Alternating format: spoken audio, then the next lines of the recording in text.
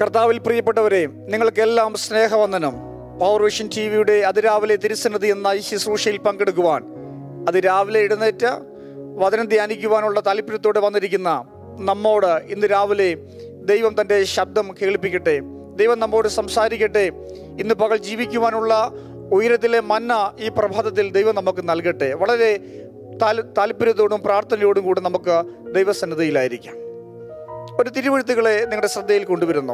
ഒന്ന് കൊരിന്തി ലേഖനം പതിമൂന്നാം അധ്യായം നാല് മുതൽ എട്ട് വരെയുള്ള വാക്യങ്ങൾ. സ്നേഹം ദീർഘമായി ക്ഷമിക്കുകയും ദയ കാണിക്കുകയും ചെയ്യുന്നു. സ്നേഹം സ്പർദ്ധിക്കുന്നില്ല. സ്നേഹം നിഗളിക്കുന്നില്ല. ചീർക്കുന്നില്ല. അയോഗ്യമായി നടക്കുന്നില്ല. സ്വാർത്ഥം അന്വേഷിക്കുന്നില്ല. ദേഷ്യപ്പെടുന്നില്ല. ദോഷം കണക്കിടുന്നില്ല. അനീതിയിൽ സന്തോഷിക്കാതെ സത്യത്തിൽ സന്തോഷിക്കുന്നു.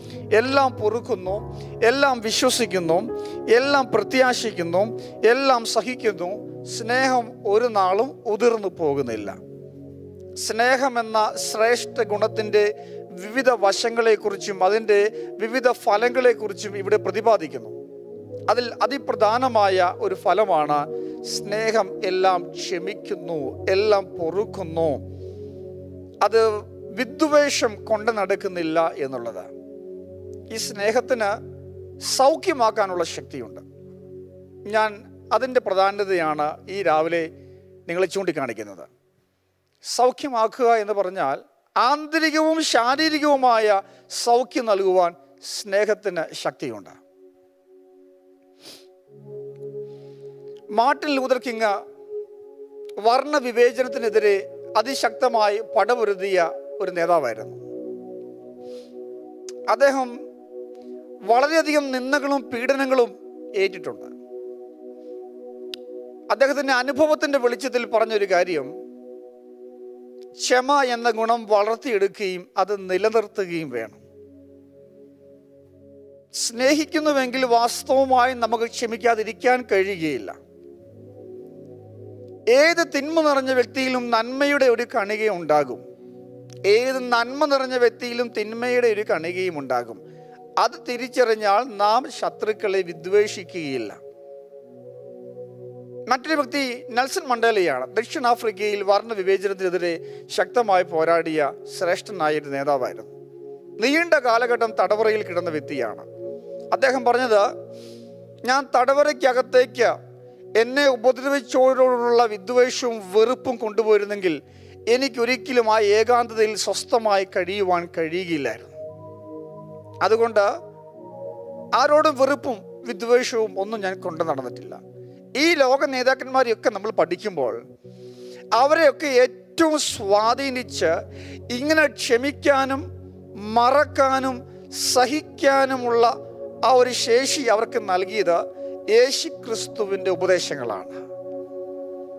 ഈ ലോകം കണ്ട സകല ശ്രേഷ്ഠ നേതാക്കന്മാരെയും ഏറ്റവും കാര്യമായി സ്വാധീനിച്ചിട്ടുള്ളത് യേശു ക്രിസ്തു എന്ന ദൈവപുത്രനായ മിശിഹയാണ്. അതുകൊണ്ട് ക്ഷമിച്ച് സ്നേഹിക്കാൻ ഉള്ള ഒരു കൃപ നമുക്ക് ഉണ്ടാകണം എലിസബത്ത് ബാരറ്റ് പത്തൊമ്പതാം നൂറ്റാണ്ടിൽ ജീവിച്ചിരുന്ന ഒരു കവയിത്രിയാണ്. തന്റെ യൗവനപ്രായത്തിൽ തനിക്ക് ഇഷ്ടമുള്ള ഒരാളെ വിവാഹം കഴിച്ച നിമിത്തം വളരെ കർശനക്കാരനായി തന്റെ പിതാവും തന്റെ മാതാവും തന്റെ കുടുംബാംഗങ്ങളെല്ലാം തന്നെ വെറുത്തു. കുടുംബത്തോടുള്ള ബന്ധം തന്നെ വിച്ഛേദിക്കേണ്ടി വന്നു. അങ്ങനെ കുടുംബം വിട്ട് താനും തന്റെ ഭർത്താവും കൂടെ ഇറ്റലിയിലേക്ക് കുടിയേറി. കുടുംബവുമായി യാതൊരു ബന്ധമില്ലാതെ അവിടെ പാർക്കുന്ന ഈ കാലഘട്ടത്തിൽ ആഴ്ചയിൽ ഒരിക്കലെങ്കിലും തന്റെ മാതാപിതാക്കൾക്ക് ഒരു കത്ത് എഴുതുവാൻ അവൾ ശ്രദ്ധിച്ചിരുന്നു. പത്തു വർഷത്തോളം മുടങ്ങാതെ അവൾ കത്തുകൾ എഴുതിക്കൊണ്ടിരുന്നു. ഒരു കത്തിന് പോലും മറുപടി ലഭിച്ചില്ല. എന്നാൽ പത്ത് വർഷം കഴിഞ്ഞപ്പോൾ മെയിലിൽ അവർക്ക് ഒരു വലിയ പെട്ടി വന്നു. പൊട്ടിച്ച് തുറന്നു നോക്കിയപ്പോൾ താൻ കഴിഞ്ഞ പത്ത് വർഷം തന്റെ പിതാവിനും മാതാവിനും അയച്ച കത്തുകളെല്ലാം ഒന്നുപോലും പൊട്ടിച്ച് നോക്കാതെ അതെല്ലാം അതുപടി വീണ്ടും പാക്ക് ചെയ്ത് ഇവൾക്ക് തിരിച്ചയച്ചിരിക്കുകയാണ്. അത് വളരെ നിരാശപ്പെടുത്തുന്ന ഒരു അനുഭവം തന്നെയായിരുന്നു. പക്ഷേ ഈ കത്തുകളാണ് എലിസബത്ത് ബാരറ്റ് എന്ന കവയിത്രിയുടെ ലോകം അറിഞ്ഞ ക്ലാസിക് റൈറ്റിംഗ്സ് ആയി അല്ലെങ്കിൽ പ്രസിദ്ധമായ എഴുത്തുകളായി പിന്നീട് പരിണമിച്ച പലതും ഈ കത്തുകളിൽ നിന്നുമുണ്ടായ ആശയങ്ങളും ചിന്തകളുമാണ്. അതിന് മറുവശമുണ്ട്. അതിൽ ഒന്നോ രണ്ടോ കത്തെങ്കിലും അപ്പൻ പൊട്ടിച്ച് വായിച്ചിരുന്നെങ്കിൽ ഒരുപക്ഷെ ആ ബന്ധം ഒരു അനുരഞ്ജനത്തിലേക്ക് വരുമായിരുന്നു. ദൈവം മനുഷ്യന് നൽകിയ ഒരു ശ്രേഷ്ഠമായ കത്താണ് ഈ തിരുവെടുത്തുകൾ തകർന്നുപോയ ബന്ധങ്ങളെ പണിയാൻ കഠിനമായ മനസ്സുകളെ ഉരുക്കാൻ അകന്നുപോയവരെ അടുപ്പിക്കാൻ ഈ വചനത്തിന് സ്വാധീന ശക്തിയുണ്ട്. പക്ഷെ ഒരിക്കലെങ്കിലും ഇതൊന്ന് തുറന്ന് വായിക്കാൻ നമുക്ക് കഴിയണം. ഈ പ്രഭാതത്തിൽ നാം വചന ധ്യാനത്തിനായി സമയമെടുക്കുമ്പോൾ ഈ വചനം കേൾക്കുമ്പോൾ നമ്മുടെ ഹൃദയത്തിന്റെ കാഠിന്യങ്ങളെ ഇത് ഉരുക്കട്ടെ. അകന്ന തകർന്ന ബന്ധങ്ങളെ പണിയാൻ ഈ വചനം നമ്മെ സ്വാധീനിക്കട്ടെ. ഈ ക്ഷമിക്കാത്ത ഉള്ളിൽ പകയും വിദ്വേഷം കൊണ്ടു നടന്ന പഴയ കാര്യങ്ങൾ മറക്കാതെ ജീവിക്കുന്നത് മനസ്സിനെ മാത്രമല്ല അസ്വസ്ഥമാക്കുന്നത്. ഇത് ശാരീരിക രോഗങ്ങളിലേക്ക് നയിക്കുമെന്നും പഠനങ്ങൾ കണ്ടെത്തിയിട്ടുണ്ട്.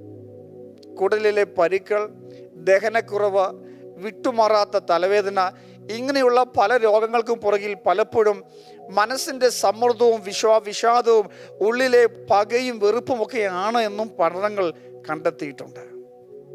ഒരിക്കലും ഒരു പെൺകുട്ടി രക്തക്കുറവ് നിമിഷം നിമിത്തം ഉണ്ടാകുന്ന വിളർച്ചയും ഒരു ഉന്മേഷമില്ലായ്മയും അത് നിമിത്തം ഡോക്ടറെ കണ്ടു. മരുന്ന് നൽകി നീണ്ട നാളുകൾ ചികിത്സ നൽകി യാതൊരു വ്യത്യാസവുമില്ല. ഒരു പിന്നീട് നല്ലൊരു വൈദ്യ ഒരു ഒരു കംപ്ലീറ്റ് ബോഡി ചെക്കപ്പിന് വിധേയയായി. എന്നിട്ടും വലിയ മാറ്റമില്ല. എന്നാൽ ചില ആഴ്ചകൾക്ക് ശേഷം വീണ്ടും അതേ ഡോക്ടറെ കാണാൻ വന്നപ്പോൾ ഇവൾക്ക് വലിയ മാറ്റം വലിയ ഉന്മേഷവതിയായിരിക്കുന്നു. ഡോക്ടർ ചോദിച്ചു കഴിഞ്ഞ പ്രാവശ്യം നീ എന്നെ വന്ന് കണ്ടു കണ്ടപ്പോൾ ഇത് ഇതിന് ശേഷം എന്ത് എന്താണ് സംഭവിച്ചത്? എങ്ങനെയാണ് ഈ മാറ്റം ഉണ്ടായത് അവൾ പറഞ്ഞു ഞാൻ എന്റെ ഉറ്റ സുഹൃത്തുമായി ഒരു നീണ്ട കാലഘട്ടത്തിൽ മിണ്ടാതിരിക്കുകയായിരുന്നു. എനിക്ക് അവളോട് വല്ലാത്ത പകയും ദേഷ്യവുമായിരുന്നു. ഒടുവിൽ എനിക്ക് തിരിച്ചറിവുണ്ടായി. അത് ശരിയല്ല. ഞാൻ ചെയ്യുന്ന തെറ്റാണ്. ഞാൻ എന്റെ സുഹൃത്തിനെ അന്വേഷിച്ചു പോയി. അവളെ വീട്ടിൽ ചെന്ന് അവളോട് ക്ഷമ പറഞ്ഞ് അവളെ കെട്ടിപ്പിടിച്ച് ചുംബിച്ച് നിരപ്പ് പ്രാപിച്ചു. അത് ചെയ്തു കഴിഞ്ഞപ്പോൾ എന്റെ ഉള്ളിൽ നിന്നും വലിയ ഭാരം മാറി എനിക്ക് വലിയ സമാധാനമുണ്ടായി. അതായിരിക്കാം ഡോക്ടറെ എന്റെ ഈ അസുഖം മാറാനുണ്ടായ കാരണം. വളരെ ശരിയാണ്. മനസ്സിന്റെ അവസ്ഥകളും ശരീരത്തിന്റെ അവസ്ഥയെ സ്വാധീനിക്കാറുണ്ട്. ആരോഗ്യമുള്ള മനസ്സ് ആരോഗ്യമുള്ള ശരീരത്തിന് പ്രധാനപ്പെട്ട ഒരു കാര്യമാണ്. ഇതിന് സമാനമായ മറ്റൊരു കാര്യം കൂടെ ഞാൻ പറയാം. മറ്റൊരു കാര്യം കൂടെ ഞാൻ പറയാം. മറ്റൊരു വ്യക്തി കഠിനമായ പനിയുമായിട്ട് ആശുപത്രി ചെല്ലുന്നു അഡ്മിറ്റ് ആകുന്നു ആഴ്ചകളോളം ചികിത്സിക്കുന്നു മാറ്റമുണ്ടാകുന്നില്ല എന്നാൽ അടുത്ത റൗണ്ടിന് ഡോക്ടർ വരുമ്പോൾ ഇദ്ദേഹം വളരെ സുഖമുള്ളവനായി കാണപ്പെടുന്നു. ഡോക്ടർ ചോദിച്ചു ഈ വീക്കെൻഡിൽ എന്താണ് സംഭവിച്ചത്? അദ്ദേഹം പറഞ്ഞു വർഷങ്ങളോളം എന്നോട് മിണ്ടാതിരുന്ന എന്റെ ഒരു സഹോദരനുണ്ട്. വസ്തു തർക്കമാണ് കാരണം. പല കുടുംബ ബന്ധങ്ങളും തകരാനും പല സഹോദര ബന്ധങ്ങളും അകലാനും തക ഒക്കെ കാരണം അല്പം വസ്തുവിന്റെ പേരിലാണല്ലോ. ഒരു തൂമ്പ മണ്ണ് കയറ്റി കളച്ചതോ അല്ലെങ്കിൽ ഒരു സെന്റ് കുറഞ്ഞു പോയതോ നിസ്സാര കാര്യങ്ങളാണ്. അതിന്റെ പേരിലാണല്ലോ നമ്മൾ വർഷങ്ങളോളം മിണ്ടാതിരിക്കുന്നതും ബന്ധങ്ങൾ തകരുന്നതും അപ്പോൾ അദ്ദേഹം പറഞ്ഞു എന്റെ ജ്യേഷ്ഠൻ എന്നെ കാണാൻ വന്നു. എനിക്ക് തീരെ വയ്യ എന്ന് അറിഞ്ഞുകൊണ്ട് അദ്ദേഹം വന്നതാണ്. എല്ലാം മറന്ന് അദ്ദേഹം എന്നോട് ക്ഷമ പറഞ്ഞു. ഞാൻ ക്ഷമ ചോദിച്ചു. ഞങ്ങൾ പൊട്ടിക്കരഞ്ഞ് ചുംബിച്ച് നെരുപ്പ് പ്രാപിച്ചു. അതിനുശേഷമാണ് എന്റെ രോഗം മാറിയത്. ഞാൻ പറഞ്ഞു വരുന്നത് മനസ്സിന്റെ അവസ്ഥ ഭൂതകാലത്തിൽ പണ്ടത്തെ ദുരനുഭവങ്ങൾ ഇപ്പോഴും മനസ്സിൽ കൊണ്ടു നടന്ന് പകയും വെറുപ്പും കയ്പും കുത്തി നിറച്ച മനസ്സുമായി ജീവിക്കുന്നത് ബന്ധങ്ങളെ മാത്രമല്ല തകർക്കുന്നത് ഒരുപക്ഷെ ശാരീരിക രോഗങ്ങളിലേക്ക് നയിക്കാം. അതുകൊണ്ട് നമുക്ക് മറക്കാനും ക്ഷമിക്കാനും പഠിക്കാം. ചിലർ പറയും പറയും ക്ഷമിക്കും മറക്കുകയല്ല. അല്ല രണ്ടും വേണം. മറക്കാം ക്ഷമിക്കാം. എന്തുകൊണ്ട് ക്ഷമിക്കണം? ക്രിസ്തു നമ്മളോട് ക്ഷമിച്ചതുകൊണ്ട് നമുക്ക് ക്ഷമിക്കാം. നമ്മുടെ ആ ആ വലിയ ഭാരം ക്രിസ്തു എടുത്തു നീക്കിയത് കൊണ്ട് നമുക്ക് നമ്മുടെ സഹോദരനോട് സഹോദരിയോട് കുടുംബാംഗങ്ങളോട് സുഹൃത്തുക്കളോട് ക്ഷമിക്കാം മറക്കാം. അങ്ങനെ ബന്ധങ്ങൾ പണിയാം. കെട്ടുറപ്പുള്ള കുടുംബവും സമൂഹവും സഭയും നമ്മളിലൂടെ ഉണ്ടാകട്ടെ. അതിനുള്ള കൃപ കർത്താവ് നമുക്ക് തരട്ടെ.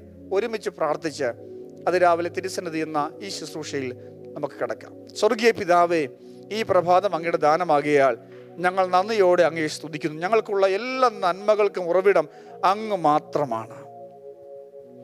അവിടുത്തെ വചനത്തിലൂടെ അങ്ങ് ഞങ്ങളെ പണിയുവാൻ ആഗ്രഹിക്കുമ്പോൾ പലപ്പോഴും ഞങ്ങളുടെ മറക്കാനും ക്ഷമിക്കാനും കഴിയാത്ത മനസ്സ് ഞങ്ങളുടെ ആത്മീയ വളർച്ചയ്ക്ക് തടസ്സമായി തീരാറുണ്ട്. മറക്കാനും ക്ഷമിക്കാനും അങ്ങ് ഞങ്ങളെ പഠിപ്പിക്കണമേ അതിനുള്ള കൃപ ഞങ്ങൾക്ക് തരണമേ. സൗഖ്യമാക്കുന്ന ക്ഷമയുടെ സ്വാധീനത്താൽ ഞങ്ങൾ എല്ലാവരെയും മൂടണമേ എന്ന് അങ്ങയോട് പ്രാർത്ഥിക്കുന്നു. സ്പർദ്ധിക്കാത്ത ദോഷം കൊണ്ട് നടക്കാത്ത ദോഷം നിരൂപിക്കാത്ത എല്ലാം മറക്കുന്ന ആ സ്നേഹം ഞങ്ങൾക്ക് നൽകണമേ.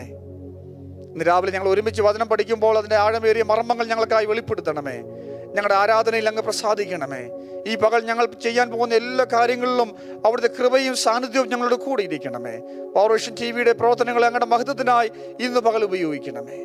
യേശു ക്രിസ്തു നാമത്തിൽ അപേക്ഷിക്കുന്ന കേൾക്കണമേ സ്വർഗീയ പിതാവേ.